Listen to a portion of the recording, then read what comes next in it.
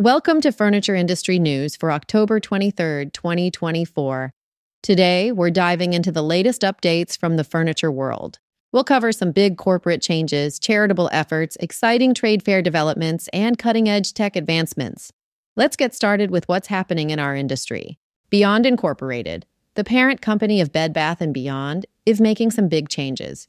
They're cutting 20% of their workforce and have let go of their chief product officer. This move is part of their plan to create a leaner, more efficient organization.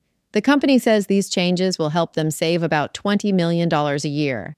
They're shifting towards what they call an asset light business model. This means they're focusing more on technology and finding ways to make money from data and customer loyalty.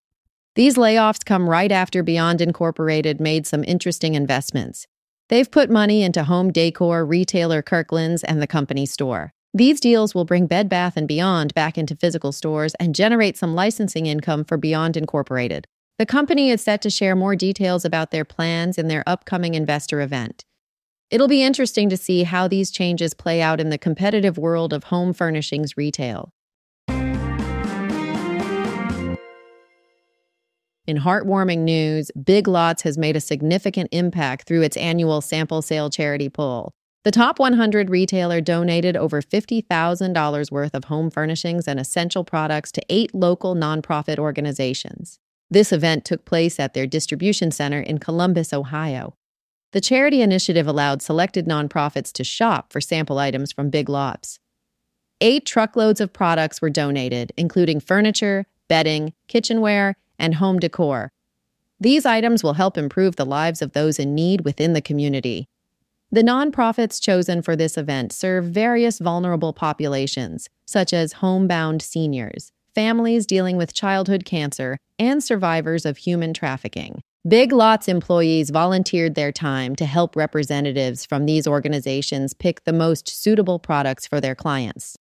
In addition to the sample sale charity pull, Big Lots extended its support to other causes, they donated home furnishings to Vista Village, Columbus's first tiny home program for individuals experiencing homelessness. The company also partnered with the Furniture Bank of Central Ohio to furnish homes for families in crisis.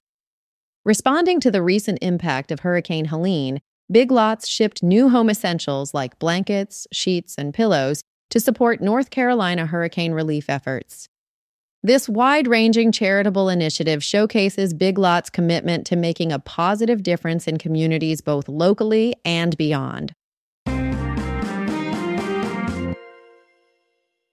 The Vietnam International Trade Fair for Apparel, Textiles, and Textile Technologies, also known as VIATT, is gearing up for its second showing in early 2025. This event is set to be bigger and better than ever, with some exciting new additions. One of the highlights will be the new India Pavilion, organized by the Cotton Textiles Export Promotion Council. This joins the returning Japan and Taiwan pavilions, offering a diverse range of international exhibitors.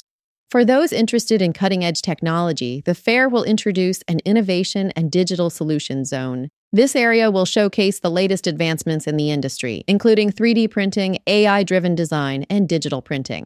VIATT is also putting a strong emphasis on sustainability this time around. They're introducing an Econogy Hub, which will be a platform for eco friendly suppliers and service providers to connect. There's also an Econogy Finder tool to help sustainable exhibitors showcase their green credentials, and Econogy Talks, featuring seminars and presentations on eco focused topics. These new features are expected to attract even more visitors and exhibitors to the fair, which will take place from February 26th to 28th at the Saigon Exhibition and Convention Center in Ho Chi Minh City. It's shaping up to be a must attend event for anyone in the textile and apparel industry. Now let's talk about Natuzzi's performance in the second quarter of 2023.